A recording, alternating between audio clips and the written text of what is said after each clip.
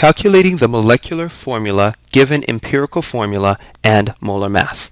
In this example problem, it says a compound with an empirical formula of CH2 has a molar mass of 70 grams per mole. What is the molecular formula?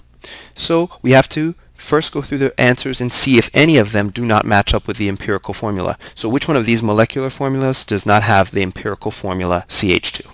And if I go on, if I go through all of them and divide by the number that can go into each of the subscripts, I see that they all have the empirical formula CH2. So if I divided this by 2, I would get CH2, the subscripts. If I divided the subscripts by 4 here, and if I, if I divided the subscripts by 5 here, I would get CH2.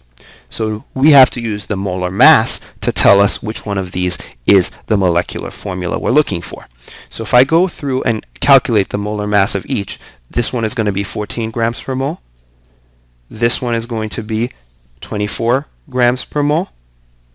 This one is going to be 56 grams per mole.